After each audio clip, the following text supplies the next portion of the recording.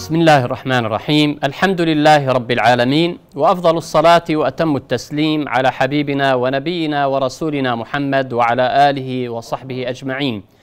وبعد السلام عليكم ورحمة الله وبركاته. حياكم الله أيها الإخوة الأخيار أيها الإخوة الأبرار أيتها الأخوات الطيبات المباركات في هذه الحلقة والتغطية الخاصة لقيم العيد. كل عام وأنتم بخير. تقبل الله منا ومنكم صالح الأعمال. شرح الله صدوركم ويسر الله ما تعسر من أموركم. ورفعكم الله أعلى الدرجات ومحى عنا وعنكم السيئات وجمعنا وإياكم بسيد السادات محمد صلى الله عليه وسلم مع النبيين والصديقين والشهداء والصالحين. وحسن أولئك رفيقا. اللهم آمين. اللهم آمين. قيم العيد المسلم حريص أن يحافظ على قيمه الإسلامية في حياته عامة في حياته عامة. لكن هنالك مناسبات وهنالك عبادات وهنالك أزمنة أو أمكنة أو أحوال معينة لها قيمها الخاصة لها قيمها الخاصة. فكما أن الله عز وجل قدر لأيام العشر الأول من ذي الحجة بداية باليوم الأول وصولا إلى اليوم العاشر وهو يوم عيد النحر وهو يوم عيد النحر أو عيد الأضحى. فكما أن الله عز وجل قدر لهذه الأيام الأول شرف الزمان يجتمع فيها شرف الزمان مع شرف المكان مع شرف الحال. فهذه الأيام هي من أفضل الأيام عند الله عز وجل. يقول عنها النبي صلى الله عليه وسلم ما من أيام العمل الصالح فيها أحب إلى الله تعالى من هذه العشر من هذه العشر. ويوم عرفة هو يوم التاسع ويوم عيد الأضحى هو اليوم العاشر اليوم العاشر. وهو أول أيام آه يعني هو يوم النحر وتتبعه ثلاثة أيام تسمى أيام التشريق. هذا اليوم يوم العيد أو أيام العيد سواء كان اليوم الأول الذي نسميه يوم النحر أو أيام التشريق الثلاثة لها قيمها الإسلامية. فعلينا أن نسعى أن نحافظ على هذه القيم في هذه المناسبة التي تدعو إلى الفرح وتدعو إلى السعادة وتدعو إلى المرح وتدعو إلى الانشراح وتدعو إلى الارتياح لأن الله عز وجل شرعها لنا. ومن تعظيمنا لشعائر الله عز وجل هو أننا نفعل مراد الله في هذه المناسبات وفي هذه الساعات المباركات. فقيم العيد كثيرة إلا أنني سأتوقف عند خمس منها. خمس منها. القيمة الأولى من قيم العيد هي قيمة السلام. هي قيمة السلام. الله عز وجل الملك القدوس السلام الذي أكرمنا وشرفنا بهذا الدين العظيم دين الإسلام. دين الإسلام. وارسل إلينا محمد عليه الصلاة والسلام. فكان يعني من قيم هذا الدين العظيم هو قيمة السلام سواء كان إفشاء السلام أو السلم والسلام بصورة عامة أو السلم والسلام بصورة عامة. يقول الله عز وجل يا أيها الذين آمنوا ادخلوا في السلم كافة. يا أيها الذين آمنوا ادخلوا في السلم كافة. فحين نتكلم عن هذه القيمة العالية في حياة المسلم عامة وفي أيام العيد خاصة كيف ننشر؟ كيف ننشر هذه القيمة العظيمة قيمة السلام؟ فنعيش نحن بسلام ونسعى أن يعيش الآخرون بسلام ممن يجتمعون معنا بالدين بالمذهب بالعقيدة بالفكر بالوطن بالإنسانية. لا شك أن هنالك مشتركات كثيرة تجمعنا بالآخرين. يجمعنا الرحم والقرابة يجمعنا الجوار يجمعنا الوطن تجمعنا الإنسانية يجمعنا الدين الواحد العقيدة الواحدة المذهب الواحد الفكر الواحد أن ننشر لغة السلام لغة المحبة لغة الوئام بيننا وبين الآخرين. الله عز وجل يقول يا أيها الذين آمنوا إذا حييتم بتحية فحيوا بأحسن منها أو ردوها. فحيوا بأحسن منها أو ردوها. إحياء سنة المصطفى عليه الصلاة والسلام في إفشاء السلام. أنك تنشر السلام بين الأنام وحين تمر بالناس تسلم عليهم.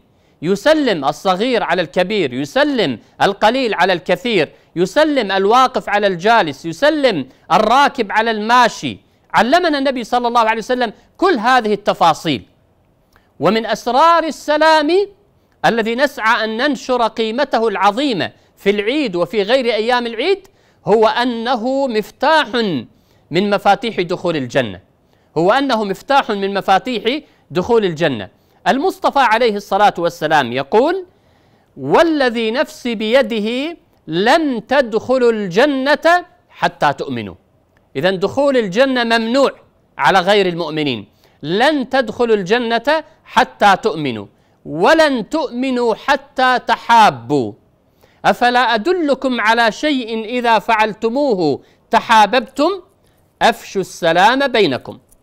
والذي نفسي بيده لن تدخلوا الجنة حتى تؤمنوا. ولن تؤمنوا حتى تحابوا. أفلا أدلكم على شيء إذا فعلتموه تحاببتم؟ أفشوا السلام بينكم. أفشوا السلام بينكم. السلام عليكم. ورحمة الله وبركاته. الله أكبر. كلمات عظيمة. عظيمة القدر. جليلة المكانة. عالية المنزلة. عند الله عز وجل الذي شرعها لنا. على لسان النبي صلى الله عليه وسلم أو في القرآن الكريم. السلام عليكم. أنت تلقي السلام على من تلقاه. ممن تعرف أو لا تعرف. السلام عليكم. أنت تسأل له السلام. وتعرض عليه السلم والسلام.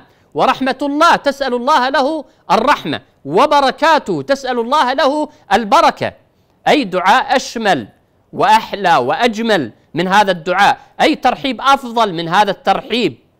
أي استقبال بحفاوة وتكريم أفضل من هذه الحفاوة وأفضل من هذا التكريم. السلام عليكم ورحمة الله وبركاته. فتعالوا نحيي سنة نبي الإسلام محمد عليه الصلاة والسلام وننشر السلام. وننشر السلام بين الأنام مع أهل المسجد حين نصلي العيد مع أهل الشارع حين نخرج من العيد مع أهل السوق حين نمر بالسوق مع أهل بيتنا صغارا وكبارا ورجالا ونساء مع أرحامنا وأقاربنا حتى نعطي رسالة للمسلمين وغير المسلمين أن الإسلام مهما أرادوا تشويه صورته هو دين دين السلم ودين السلام ودين الحب ودين الوئام ودين الإنسانية ودين الرحمة ودين العطف ودين الحنان ودين الإحسان مهما اجتمع عبدة الأصنام والأوثان من كفار أو مشركين أو منافقين أو حتى من بني جلدتنا ممن شوهوا صورة هذا الإسلام الحقيقي أنه ليس دين السلم وليس دين السلام نقول لا الإسلام هو دين السلام. الإسلام هو دين السلام. فمن أعظم قيم العيد التي نسعى أن نحافظ عليها هي هذه القيمة العظيمة قيمة السلام. النبي عليه الصلاة والسلام كان يجلس آه، يعني مع أصحابه. فجاء رجل جاء رجل إلى مجلس النبي صلى الله عليه وسلم فقال السلام عليكم. فقال عليه الصلاة والسلام عشر. ثم جاء رجل ثاني ودخل وسلم وقال السلام عليكم ورحمة الله. فقال النبي صلى الله عليه وسلم عشرون. ثم جاء رجل ثالث وقال السلام عليكم ورحمة الله وبركاته. فقال النبي صلى الله عليه وسلم ثلاثون. فلما سئل عليه الصلاة والسلام عن سر العشر والعشرون والثلاثون قال الأولى عشر حسنات الثانية عشرون حسنة الثالثة ثلاثون حسنة. أي أنك إذا تسلم على الناس وتقول السلام عليكم تأتيك عشر حسنات. السلام عليكم ورحمة الله تأتيك عشرون حسنة. السلام عليكم ورحمة الله وبركاته. تأتيك ثلاثون حسنة. هذا فضل عظيم وهذا أجر كبير. ينبغي أن لا يغادر ذهنك وأن تسعى أن تحافظ عليه. النبي صلى الله عليه وسلم أيضا يخبرنا في حديثه ويقول عليه الصلاة والسلام: لا يحل لمسلم أن يهجر أخاه فوق ثلاث. لا يحل لمسلم أن يهجر أخاه فوق ثلاث. يلتقيان فيعرض هذا ويعرض هذا. وخيرهما من؟ وخيرهما الذي يبدأ بالسلام. انتصر على نفسك. انتصر على هواك. انتصر على دنياك. انتصر على شيطانك في يوم العيد. فإذا بدأك غيرك بالسلام فحاول أن تبادر أنت وتبدأه بالسلام. يقول المصطفى صلى الله عليه وسلم لا يحل لمسلم أن يهجر أخاه فوق ثلاث فوق ثلاثة أيام. يلتقيان فيعرض هذا ويعرض هذا. وخيرهما الذي يبدأ بالسلام. وخيرهما الذي يبدأ بالسلام. هذه بشارات عظيمة وأجور عظيمة في حق من ينشر السلام والمحبة والوئام بين الأنام بين الأنام.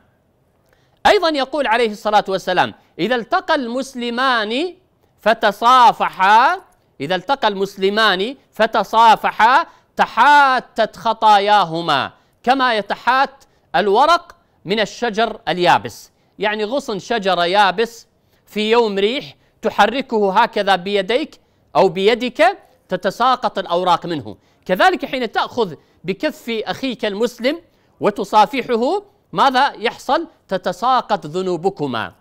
تتساقط ذنوبكما. كل هذا الأجر يترتب لماذا؟ لأن الإسلام دين السلام لأن المصطفى عليه الصلاة والسلام نبي الرحمة نبي الإنسانية نبي السلام يدعونا أن ننشر السلام في العيد وفي غير العيد. فانشروا السلام بين الأنام. لعل الله الملك القدوس السلام أن يأذن لنا بالسلم والسلامة والإسلام في الدنيا وبالسلامة والنجاة من عذاب الآخرة. حياكم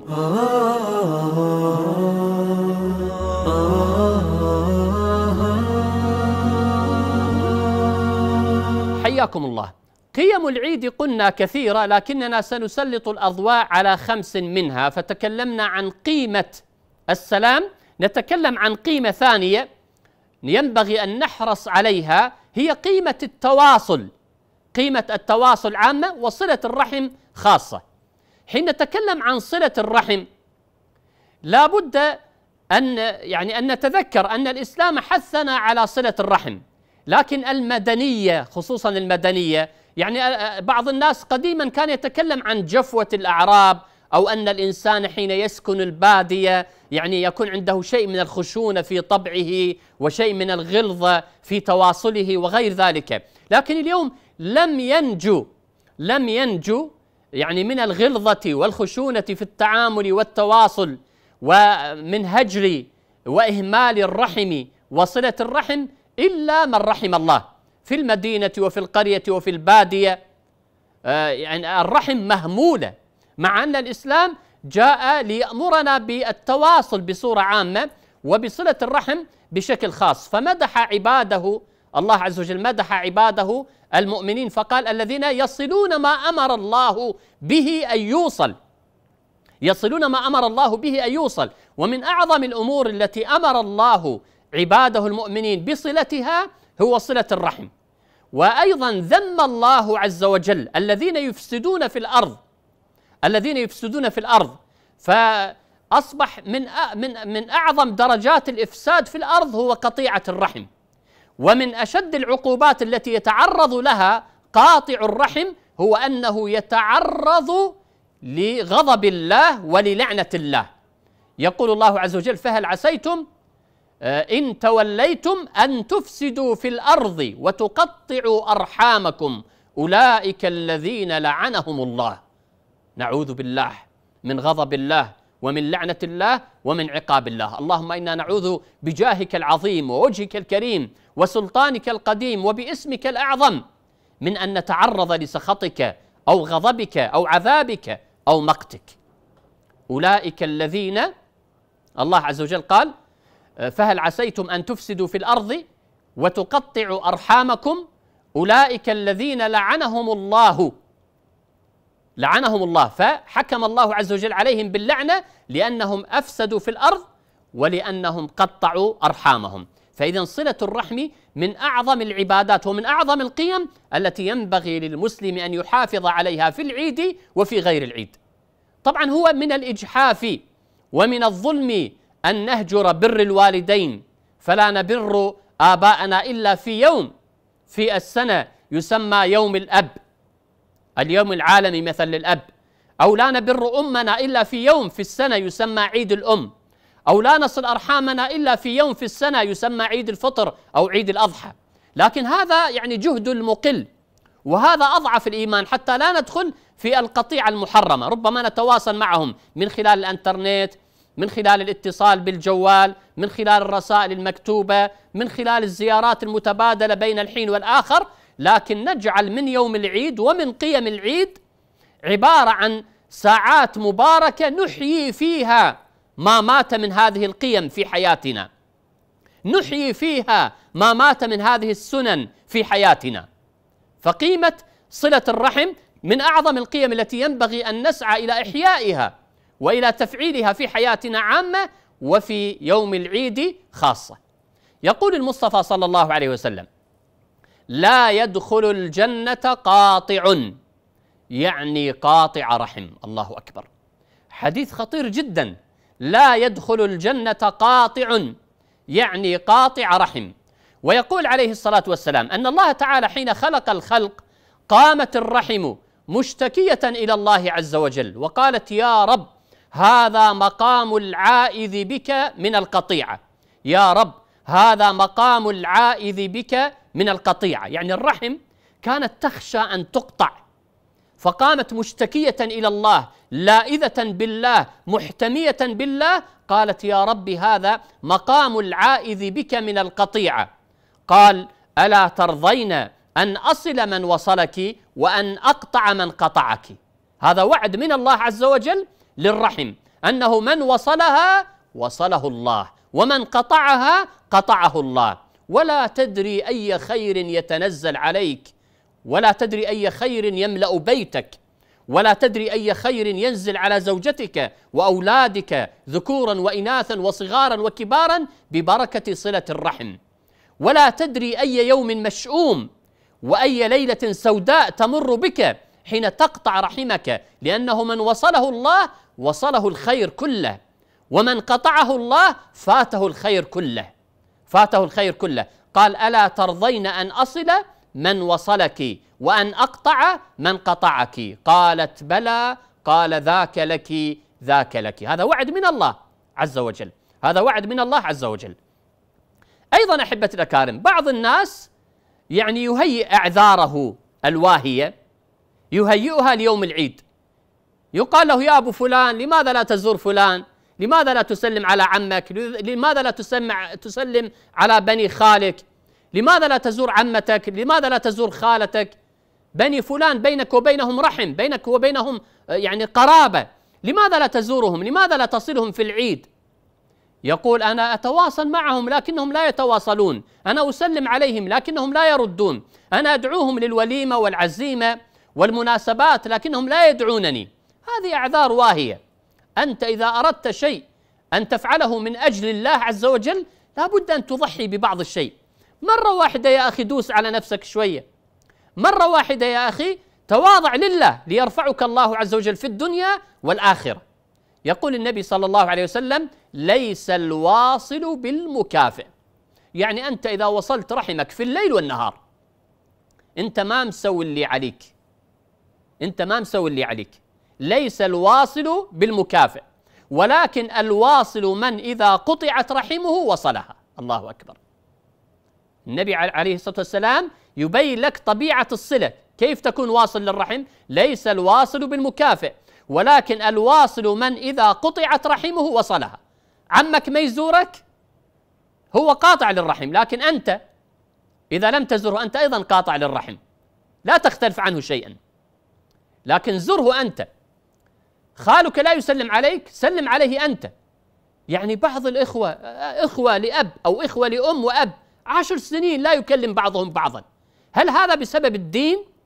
هل هذا التهاجر والقطيعة بسبب الدين؟ بسبب الاختلاف الفكري أو العقائدي أو السلوكي لا الخلاف على ماذا؟ على شيء فتات من فتات الدنيا على دنانير قليلة أو دراهم قليلة أو قطعة أرض أو على زواج بنت أو على عملة سيارة أو على كذا أو على كذا. كلها أمور دنيوية. لا ترضي رب البرية سبحانه وتعالى. ليس الواصل بالمكافئ ولكن الواصل من إذا قطعت رحمه وصلها. وأعظم من هذا وأوضح من هذا أنه النبي صلى الله عليه وسلم أتاه رجل فقال يا رسول الله إن لي أقارب أصلهم ويقطعونني. أحسن إليهم ويسيئون إلي عندك هيك أقارب كثيرين؟ منا عندهم هكذا أقارب. عندهم هكذا أقارب. يا رسول الله إن لي أقارب أصلهم ويقطعونني أحسن إليهم ويسيئون إلي. فماذا قال له النبي صلى الله عليه وسلم؟ قال لئن كنت كما تقول لم يزل لك من الله عليهم ظهير. يعني تبقى كفتك هي الراجحة عند الله وتبقى أنت المنتصر وأنت الظاهر عند الله.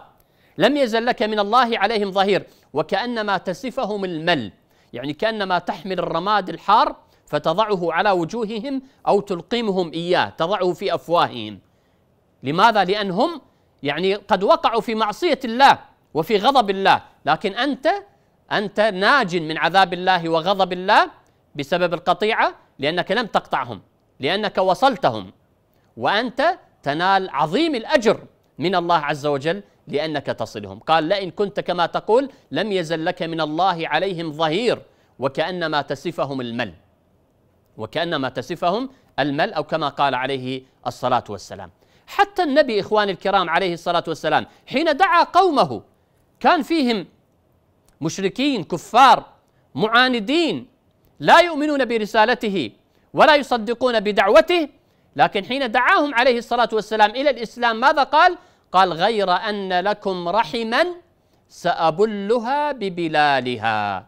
غير أن لكم رحما سأبلها ببلالها. فمن أعظم وصايا النبي صلى الله عليه وسلم ووصايا القرآن الكريم من قيم العيد العظيمة هي قيمة صلة الرحم.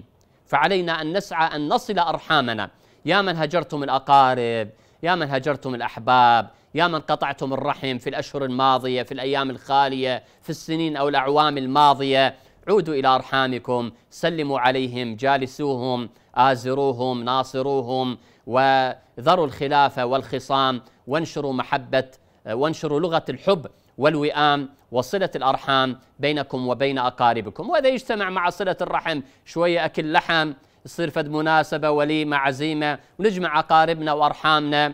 ونسلم عليهم ونغسل الزعل اللي بيننا وبينهم لعل الله عز وجل أن يصلنا بصلته. وهنالك فرق كبير لا يعلمه إلا المولى القدير سبحانه وتعالى بين أن تصل أنت أرحامك وبين أن يصلك الله. فأنت تصل أرحامك بالسلام والوئام والكلام الطيب وغير ذلك فيصلك الله. وصلة الله لك لا لا تحد ولا تعد ولا تدرك معناها ولا تجلياتها لأن صلة الله عظيمة.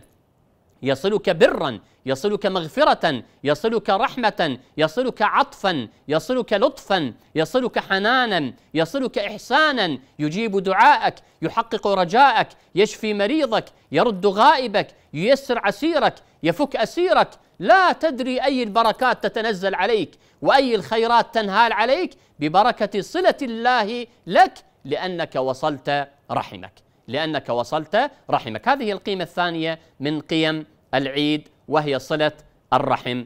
آه، نسأل الله عز وجل أن يجعلنا وإياكم من أهل صلة الأرحام.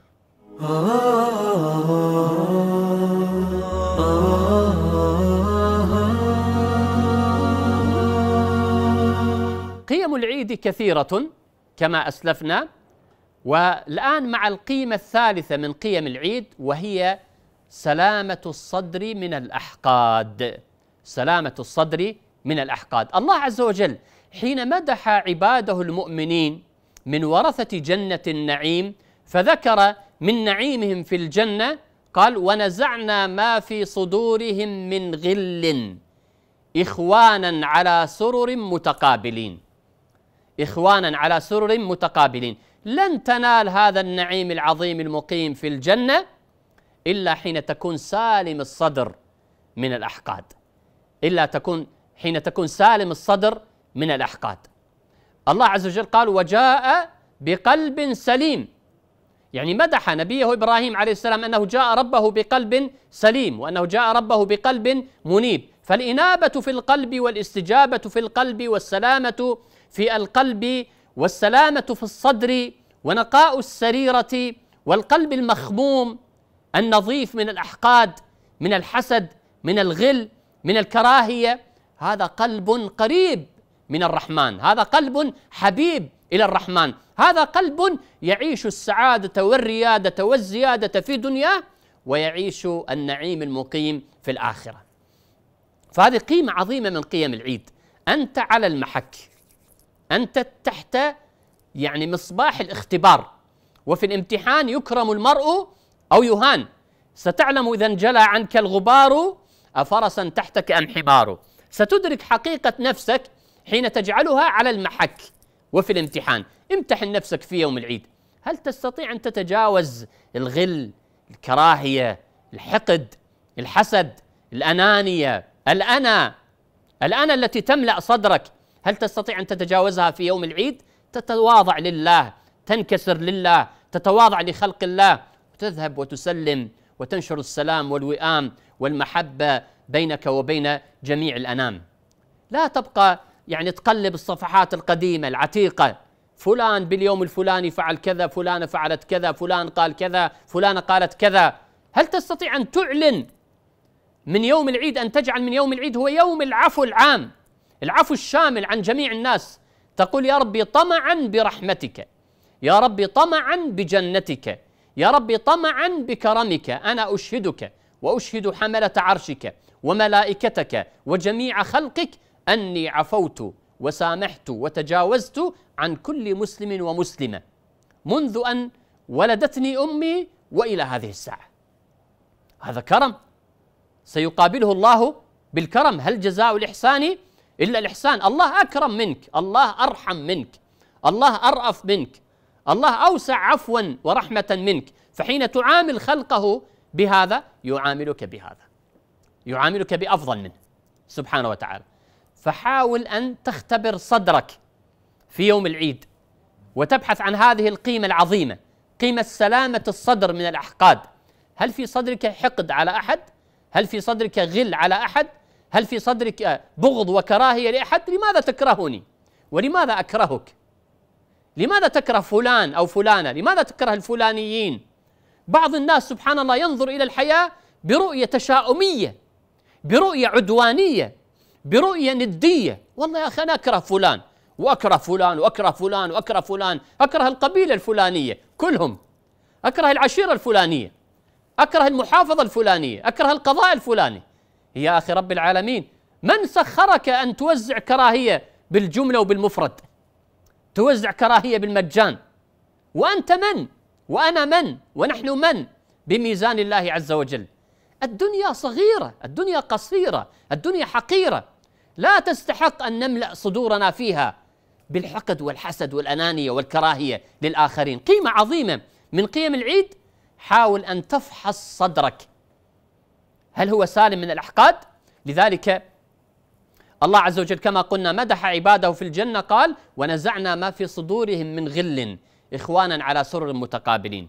النبي صلى الله عليه وسلم كان في المجلس مع الصحابة فقال يدخل عليكم الآن رجل من أهل الجنة. الصحابة الله أكبر. رجل من أهل الجنة يمشي على الأرض سيدخل المسجد سيجلس معنا في هذه الحلقة. لابد أن نراه. لابد أن نتفحصه أن نتحسسه أن نتلمسه. أي عمل هذا الذي نال به الجنة؟ أي عمل هذا الذي نجا به من النار؟ يدخل عليكم الآن رجل من أهل الجنة. فدخل رجل من ناحية من نواحي المسجد. يعني هكذا وضع حذاءه هكذا تحت إبطه ولحيته تقطر من ماء الوضوء. الآن توضأ. الآن توضأ ويحمل حذاءه. أجلكم الله وضع حذاءه بناحية ثم جاء وجلس. في اليوم الثاني النبي صلى الله عليه وسلم قال يدخل عليكم الآن رجل من أهل الجنة. الصحابة ينتظرون من هو هذا الرجل؟ فانتظروا دخل الرجل وإذا به نفس الرجل الذي بشره النبي صلى الله عليه وسلم بالأمس بالجنة. في اليوم الثالث النبي صلى الله عليه وسلم يقول يدخل عليكم الآن رجل من أهل الجنة. فدخل نفس الرجل. أحد الصحابة قال لابد أن أعرف ما هو عمل هذا الرجل الذي نال به الجنة. فذهب عنده ضيفا ثلاثة ليالي ثلاثة أيام بلياليها يجلس معه يأكل معه ينام في بيته ليرى صلاته صيامه قيامه قراءته للقرآن صدقاته نفقاته هباته أعطياته. ماذا يفعل حتى يبشر بالجنة ثلاث مرات؟ من قبل سيد الخلق وحبيب الحق محمد صلى الله عليه وسلم. فلما انتهت الثلاثة أيام وأراد أن يغادر قال له هذا الرجل قال للضيف هل لك حاجة؟ قال لا والله ليست لي حاجة. لكنني سمعت النبي صلى الله عليه وسلم ثلاث مرات يبشرك بالجنة فأردت أن أعرف ما هو عملك.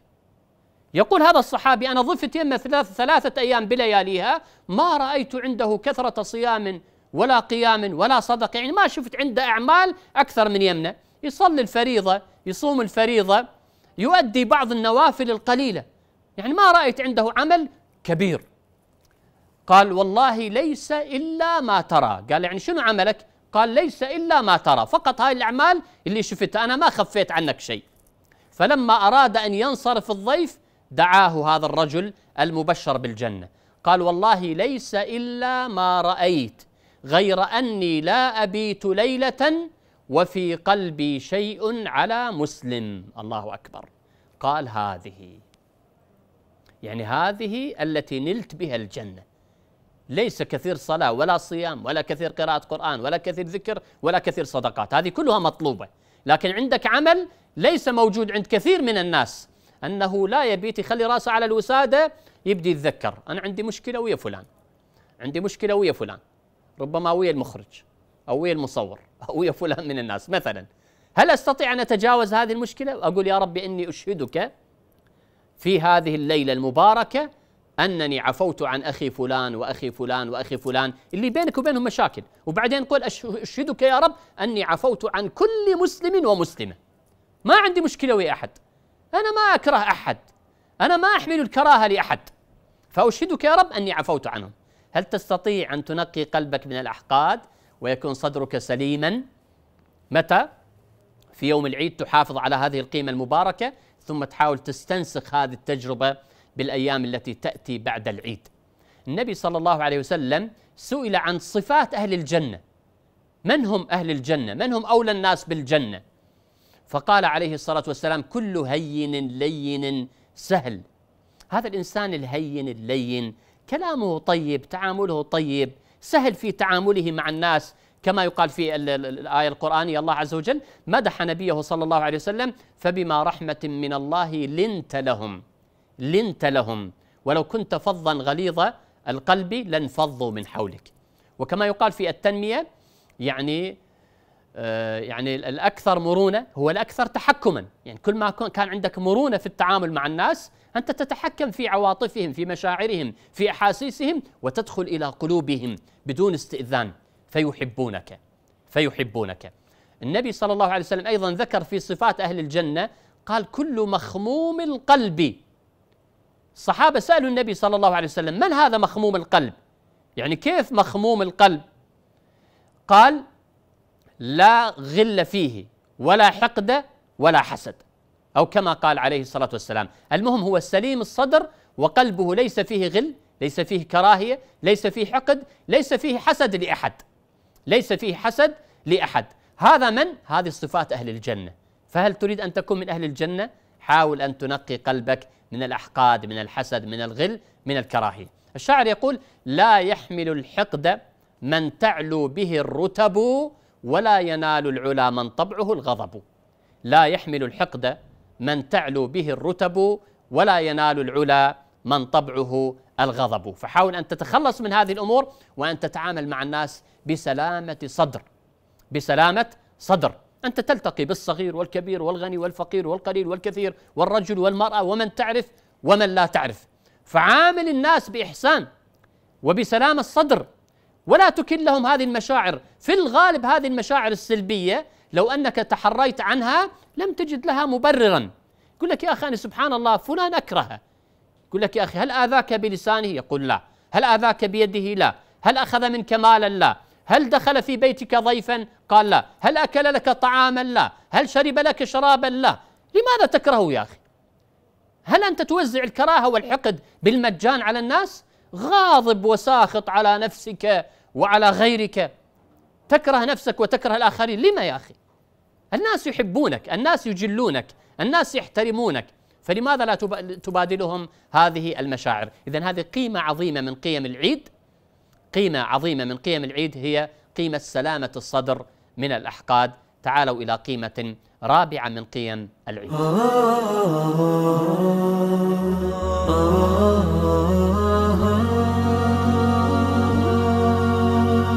حياكم الله.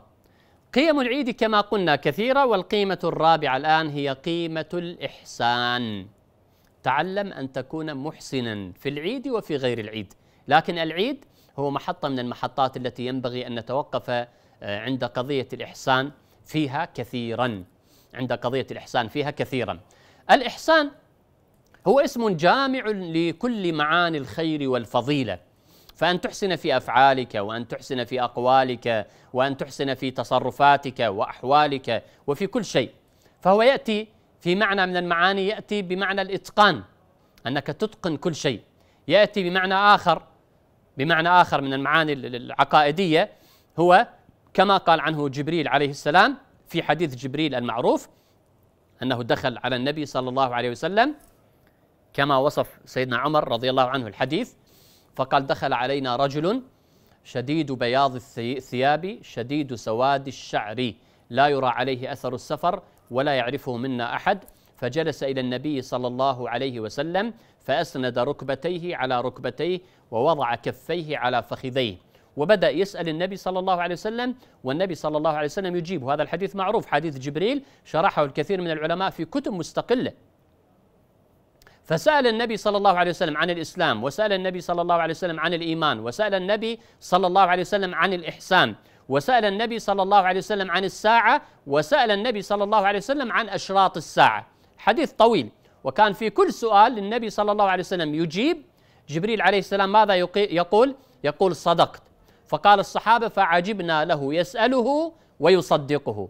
يسأله ويصدقه. وحين انصرف جبريل عليه السلام سأل النبي صلى الله عليه وسلم الصحابة أترون من هذا؟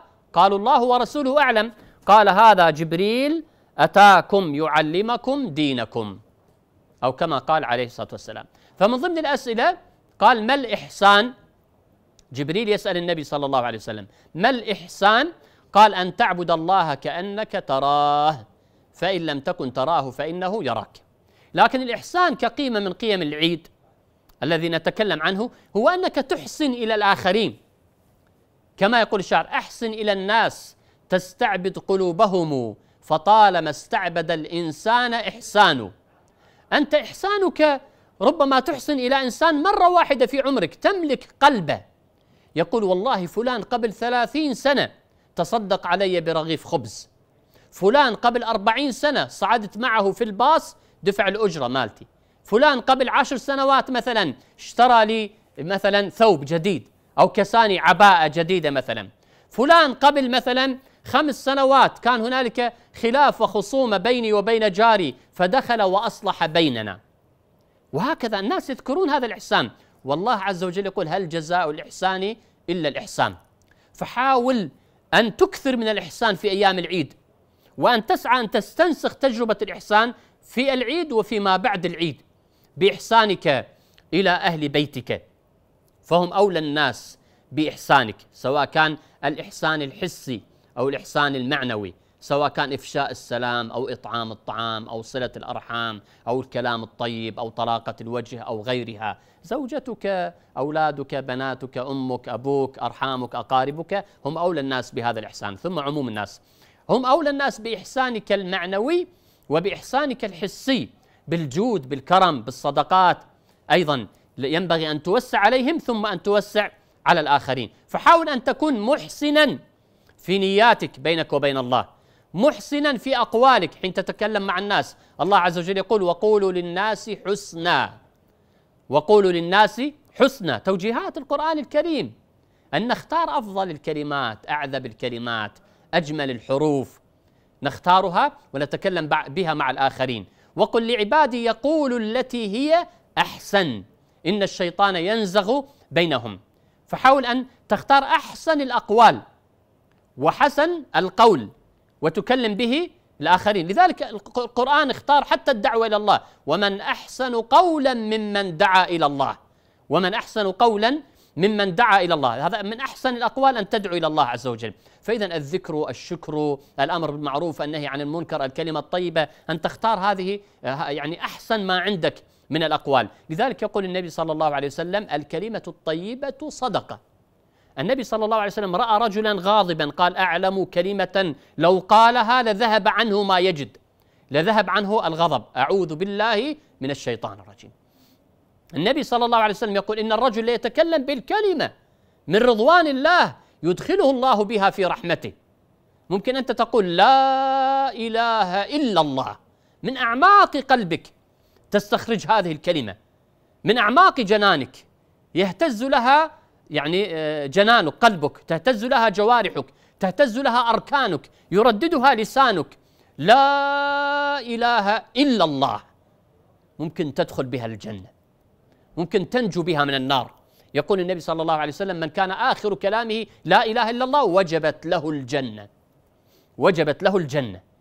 ويقول عليه الصلاة والسلام وإن العبد ليتكلم بالكلمة من سخط الله لا يلقي لها بالا يهوي بها في النار سبعين خريفا. فإذا تعالوا نختار أحبة الأكارم أحسن الأقوال أحسن الأفعال أحسن الكلمات أحسن التصرفات ونجعلها قيمة عظيمة من قيم العيد.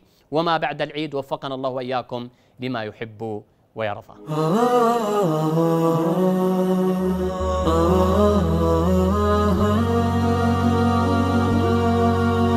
قيم العيد كما قلنا أحبابي الكرام أخواتي الطيبات كثيرة ومع القيمة الأخيرة هل تستطيع أن تتبسم في العيد؟ وهل تستطيع أن تضحك في العيد؟ وهل تستطيع أن تنشر لغة الفرح والسعادة والتفاؤل والمرح في أيام العيد؟ رغم جراحك رغم الألم هنالك أمل رغم المحن هنالك محن رغم النقم هنالك نعم من عند الله عز وجل فاجعل قيمة عظيمة من قيم العيد أنك تنشر الابتسامة أولا تعبدا لله عز وجل. الابتسامة عبادة. تبارك الله رب العالمين الذي جعل الابتسامة من الدين. جعلها عبادة. يقول النبي صلى الله عليه وسلم تبسمك في وجه أخيك صدقة. يقول عليه الصلاة والسلام لا تحقرن من المعروف شيئا ولو أن تلقى أخاك بوجه طليق. يا أخي ليش معبس وليش مظلمة الدنيا بوجهك؟ مهما كانت ظروفك تعلم أن تتبسم. يقول أحد الصحابة ما نظرت إلى النبي صلى الله عليه وسلم منذ أسلمت. يعني لا شهر ولا شهرين ولا عشرة ولا سنة ولا سنتين ولا ثلاثة ولا خمسة ولا عشرة. منذ أن أسلم إلى أن توفي محمد صلى الله عليه وسلم. ما نظرت إلى النبي صلى الله عليه وسلم إلا تبسم في وجهي. الله أكبر. مرة واحدة يا أخي قول أنا ما شفت النبي صلى الله عليه وسلم متبسم. حتى القرآن الكريم حين جاء في توجيه النبي صلى الله عليه وسلم في سورة عبس في سورة عبس لأنها كانت حالة مخالفة لعموم أحوال النبي صلى الله عليه وسلم. عموم أحوال النبي صلى الله عليه وسلم التبسم. لكن حين جمع رؤوس المشركين يدعوهم إلى الإسلام فجاء عبد الله بن, بن ابن أم مكتوم يسأل النبي صلى الله عليه وسلم عن بعض أمور الدين أو كذا. النبي صلى الله عليه وسلم عبس في وجهه ليس لأجل نفسه ولكن لأنه اختار وقتا يعني حدده النبي صلى الله عليه وسلم أن يلتقي بهؤلاء كبار القبائل والعشائر حتى إذا أسلموا تسلم من من, من ورائهم عشائر وقبائل كاملة. فجاء القرآن الكريم يوجه الرسول الرحيم صلى الله عليه وسلم أنه استعمل شيء على خلاف المعتاد. عبس وتولى أن جاءه الأعمى وما يدريك لعله يزكى أو يذكر فتنفعه الذكرى. أما من استغنى فأنت له تصدى.